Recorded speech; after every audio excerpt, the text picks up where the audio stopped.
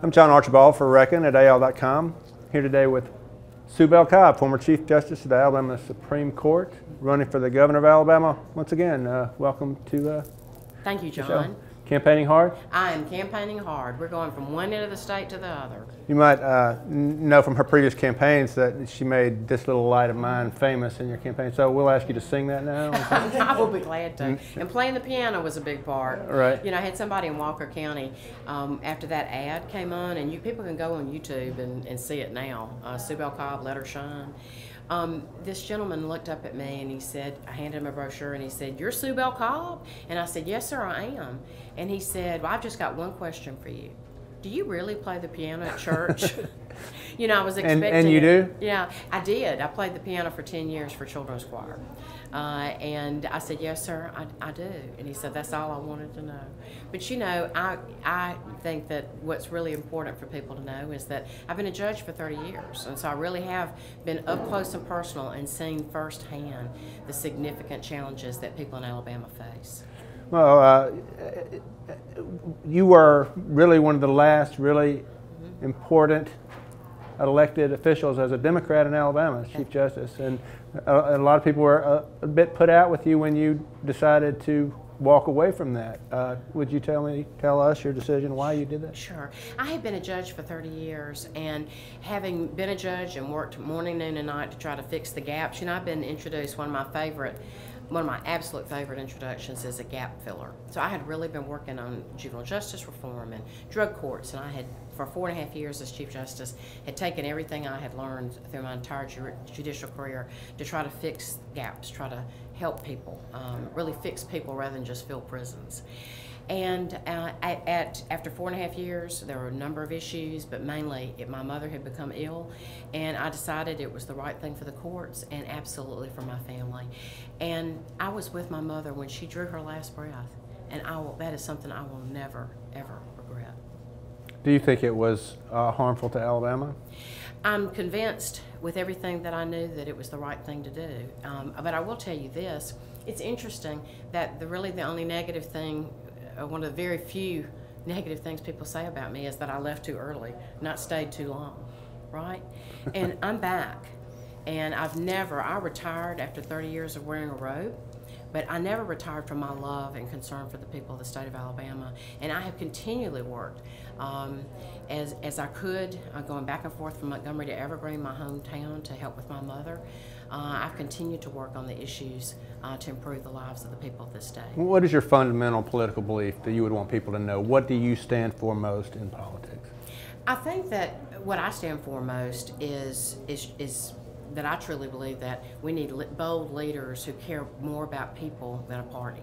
I think toxic partisanship is killing us, and I want people to know that I am running as a Democrat, um, but that that's not my religion. You know that I'm running because I know that I'm the best person from both sides of the aisle to fix the big problems. My my philosophy, I think you would probably have to say, it's I believe a rising tide raises all ships. I believe, as I wrote an article for the Book of the States in 2010, I wrote an article then entitled um, how, The Power of Fixing People Rather Than Filling Prisons. And that's what we've been missing here in Alabama. I mean, we've, we've just stuck with the old, uh, old way of doing business, you know, rather than more effective, data driven um, pro- programs like drug courts, like model drug courts, uh, that I expanded while I was Chief Justice and received a national award for that. Um, I think my philosophy is do your job and do it the best of your ability and make sure you're doing everything for the right reasons. But then go beyond that because so much of what I did, it wasn't really just in my job description. It was because I cared. And I truly believe it's time to have a governor who cares more about the next generation than the next election. Well, uh, obviously, with Doug Jones winning uh, the Senate, it get, breathes sort of new life into the uh, into any Democrat running for office. But I mean, with all due respect, I I can't decide whether the Alabama Democratic Party is you know mobsters or stooges at this point. I mean, is does the leadership of the party stand in the way of good candidates being elected to office? I'm sure that there are many people throughout the state that have great concerns about the leadership of the party. Um, they've certainly voiced those concerns to me. Um, what I think that Doug Jones' election showed is that when people become, when voters become involved, when voters become informed and engaged, we get a good result. And that's what happened on December 12th. You know, up until December 12th, I was the last Democrat that had been elected statewide. And I gladly gave up that title on December 12th to Doug Jones. And Doug is going to do a good job as a U.S. Senator, that's for sure.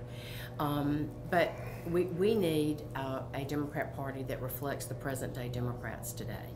And those are people from a wide range of walks of life, um, not just certain factions. We need a party, you know, that understands that we need to reach to the middle. You know, that's where we govern. You know, you don't govern from the fringes. You know, we have to reach to the middle because that's really, there are a lot of things we can agree upon. Um, so let's focus our efforts on that and try to get something good done for the people. You really believe a, believe a Democrat can win when Roy Moore is not standing on the other side of that ticket? I won in 2006 against a very well respected Republican who outspent me two or three to one. Um, I believe that the people of Alabama are good people, and if you once they see what the qualifications are, that they're going to person pick a person of quality, um, not party. What Doug showed is that a Democrat can win. Because I'll be honest with you, as I've been campaigning this past during 2017, I announced in June that I was running. Um, people would say, "Well, we know as far as a Democrat that if there's a Democrat to win, you can win, but we're not sure a Democrat can win."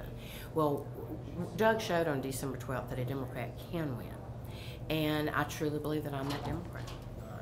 So I understand you're a member of the Blackburn Institute. yes, I, I'm on the advisory board. I understand the question I'm supposed to ask you is, what have you done for Alabama today?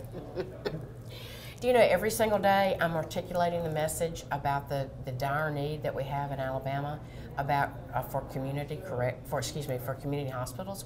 I'm sure you're aware and I'm, you've written about the fact that 74% of Alabama's hospitals, uh, community hospitals, are in the red. Even Children's Hospital here is hurting.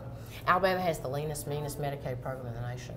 What I'm doing for Alabama every day is I'm articulating a vision about what we could be if we really believed in ourselves. I mean, actually, truly believed in ourselves and invested in ourselves. And when we do that, I'm convinced that we're going to have a state that's going to make us the envy of the South.